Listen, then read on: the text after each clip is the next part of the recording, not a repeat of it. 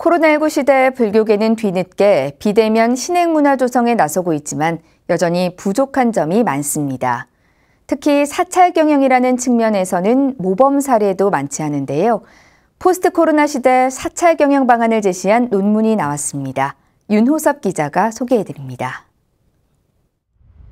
지난해 초부터 시작된 코로나19 여파로 비대면과 공동체 신행 문화에 취약한 불교계는 여전히 많은 어려움을 겪고 있습니다. 특히 불자들의 신행 활동이 계속 위축되면서 재정 감소로 사찰들은 위기에 봉착했습니다. 이런 상황에서 사찰 종무 행정과 경영 전문가인 조기룡 동국대 불교학술원 교수가 포스트 코로나 시대 사찰 경영 방안을 제시해 눈길을 끌고 있습니다. 조기룡 교수는 최근 발행된 학술지 종합연구 제5집에서 사찰의 코로나19 대응 방법으로 사이버 신행, 온라인 보시, 공공성 강화, 위로감 제공을 꼽았습니다. 대면과 의례 중심으로 활동해온 사찰들이 평소 제대로 신경 쓰지 못한 요소가 대부분입니다.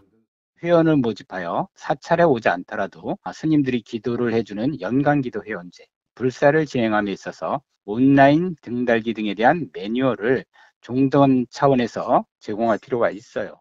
조기룡 교수는 지금의 위기를 극복하기 위한 최우선 가치로 사부대중 공동체 회복에 방점을 찍었습니다. 사찰은 피동적인 신행을 이어가는 신도들에게 주체로서의 역할을 부여하고 신도들은 단순한 기복을 넘어 사찰 운영 관리에 참여해야 한다는 뜻입니다. 또한 코로나19에 따른 new normal 시대에 종교는 사회로부터 공동선 실천을 요구받는다며 재정난 속에서도 윤리적 가치를 확산하는 일에 앞장서야 한다고 제언했습니다.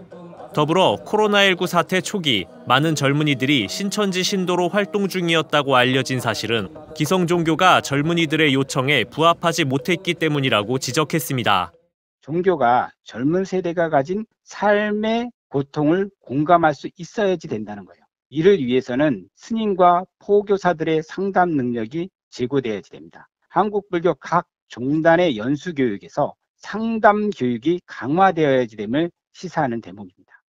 끝이 보이지 않는 코로나19 위기 속에서 비대면 신행 문화 확산에 나서고 있는 불교가 포스트 코로나 시대를 선도하는 종교로 거듭나기 위해선 구성원 모두의 노력이 절실한 상황입니다. BTN 뉴스 윤호섭입니다.